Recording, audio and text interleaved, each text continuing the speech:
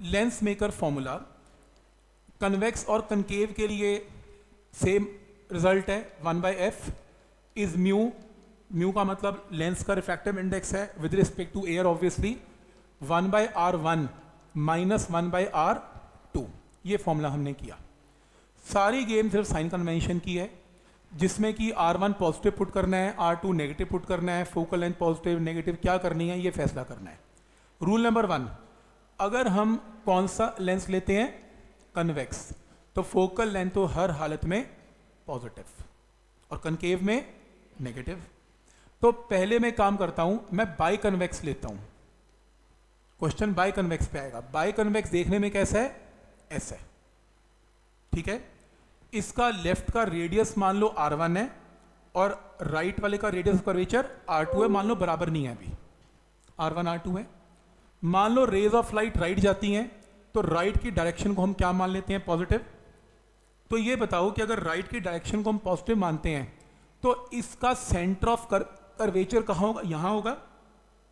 इसका रेडियस आपको यहाँ कहीं मिलेगा और इसका रेडियस आपको कहीं यहाँ कहीं मिलेगा, क्योंकि इसका सेंटर ये बनेगा, इसका सेंटर ये बनेगा। तो इसका रेडियस राइट है, इसका रेडियस लेफ़्ट है। ठीक है? अगर मैं क्वेश्चन में ये बोलूँ कि दोनों के रेडियस का मैग्नीट्यूड बराबर है।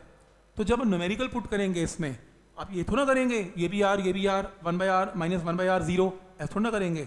आप क्या करेंगे इसमें? इस आर को क्या पुट करेंगे? पॉजिटिव राइट का रेडियस है। और इस आर का क्या पुट करेंगे? नेगेटिव तो रूल नंबर वन अगर बाई कन्वेक्स लेंस आए, आपको ये भी याद करने की कोई ज़रूरत नहीं, सिर्फ़ आपको समझाने के लिए बनाया। अगर बाई कन्वेक्स लेंस आए या डबल कन्वेक्स लेंस आए, बात एक ही है। पहला रेडियस पॉजिटिव दूसरा रेडियस नेगेटिव और वैसे भी जब आप इसको आर पुट करेंगे और इसको माइनस आर पुट करेंगे माइनस माइनस प्लस तो ओवरऑल फोकल लेंथ क्या आ जाएगी? और वैसे भी कन्वेक्स लेंस की फोकल लेंथ क्या आनी चाहिए? अगर मैं इसको नेगेटिव पुट कर दूँगा तो कहाँ से नेगेटिव आएगी? तो पॉइंट समझ में आ रहा है यहाँ तक।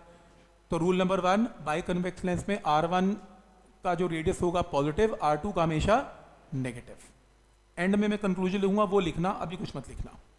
पहला रूल क्लियर है?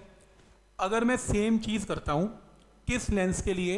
मान लो प्लेनो कन्वेक्स के लिए. ये प्लेनो कन्वेक्स है. प्लेनो कन्वेक्स का फॉर्मूला लेंस मेकर तो सेम ही रहेगा. One by R one minus one by R two plano convex ऐसा बना लेते हैं सच दैट ये डायरेक्शन क्या होती है? पॉजिटिव ये जो पहला रेडियस है, वो तो हर हालत में ही क्या होता है?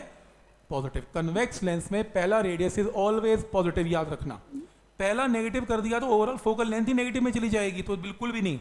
R one is always positive R two plane surface के लिए आर टू क्या होता है बोलो? ज़ीरो की इंफिनिटी ज़ीरो पता है क्या होता है? ज़ीरो का मतलब पॉइंट प्लेन वे फ्रंट याद है? प्लेन वेवफ्रंट एक बहुत बड़े स्फेरिकल वेवफ्रंट का पार्ट था। तो इमेजिन करो कि ये प्लेन है और ये कहीं स्फेयर का, बहुत बड़े स्फेयर का पार्ट है। तो आर टू को क्या लेना है इसमें? इन्फिनिटी क्या पॉइंट क्लियर है?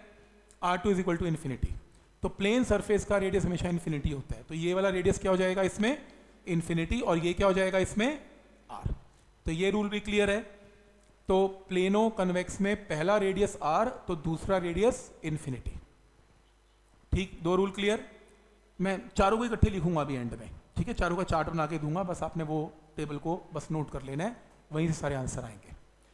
अब उसी तरीके से, अगर आपके पास सपोज़ बाय कनकेव आ जाता है बाय कनकेव या डबल कनकेव एक ही बात है, जो देखने में ऐसा है, ये डायरेक्शन को क्या मानते हैं? पॉजिटिव तो बताओ फिर, अगर मैं इस रेडियस की बात करता हूँ, इसका रेडियस आर वन लेफ़्ट मिलेगा और इसका कर्वेचर आपको राइट मिलेगा। इस बार आर टू क्या होगा? पॉजिटिव और आर वन क्या होगा इसमें? तो जब आप वन बाई एफ़ का फॉर्मूला यूज़ करेंगे तो इसके अंदर one by R one minus one by R two में इस टर्म को क्या पुट करेंगे? नेगेटिव और इसको तो negative positive will remain negative and this is negative overall focal length of concave length will become तो याद रखना कनकेव में पहला रेडियस नेगेटिव और दूसरा पॉजिटिव कन्वेक्स में पहला रेडियस पॉजिटिव और दूसरा नेगेटिव ठीक हो गया यहाँ तक भी? अभी एंड में लिख के दूँगा। पर ऐसा क्यों कर रहा हूँ? उसका रीजन दे रहा हूँ मैं। और उसी तरीके से अगर मैं सपोज़ करूँ कि मेरे पास एक लेंस है और कौन सा? प्लेनो कनकेव है। तो प्लेनो कनकेव है। प्लेनो कनकेव के अंदर focal length will be equal to mu minus one one by R one minus one by R two. देखो अगर प्लेनो कनकेव है तो फोकल लेंथ ओवरऑल क्या आनी चाहिए? नेगेटिव और एक प्लेन है तो एक को इन्फिनिटी पुट करना ही करना है। अगर मैं इसे इन्फिनिटी पुट करता हूँ और इसको पॉजिटिव करता हूँ, बात नहीं बनेगी। फोकल लेंथ फिर पॉजिटिव आ जाएगी। कनकेव लेंस की पहली खास बात है कि ये हमेशा हमेशा नेगेटिव ही होगा। तो ये हमेशा ही नेगेटिव और ये जो टर्म है, दूसरे वाली क्या होगी? इन्फिनिटी तो राधा, मेरे को डायग्राम चेंज करना पड़ेगा इसमें। मैं डायग्राम ऐसा बनाता हूँ तो बिल्कुल सही मैच करेगा।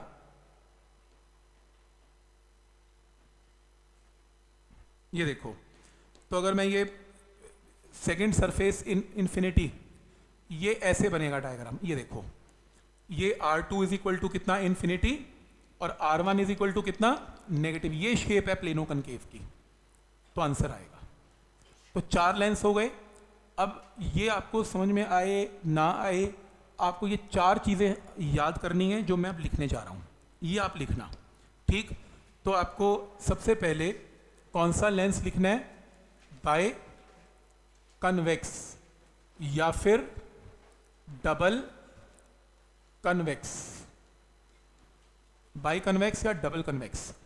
बाई कन्वेक्स या डबल कन्वेक्स में शेप ये रही। तो आपने बस ये याद करना है इसमें कि जब आप इसमें फॉर्मूला यूज़ करेंगे ये वाला फॉर्मूला यूज़ करेंगे तो इसके अंदर R1 क्या लेंगे? पॉजिटिव और R2 क्या लेंगे? नेगेटिव बस। पहला रूल क्लियर है।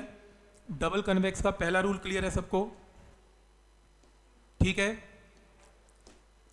सेकंड अगर आपके पास प्लेनो कन्वेक्स लेंस है प्लेनो कन्वेक्स कैसा होगा देखने में? ऐसा होगा। तो इसमें पहला रेडियस होगा पॉजिटिव हमेशा की तरह, और दूसरा रेडियस क्या होगा इसमें? इन्फिनिटी होगा। ठीक, दो रूल लिखेंगे तो आज के बाद न्यूमेरिकल आएगा तो फिर सोचेंगे नहीं ना पॉजिटिव नेगेटिव रूल बिल्कुल क्लियर है, हमें पता है कि क्या करना है।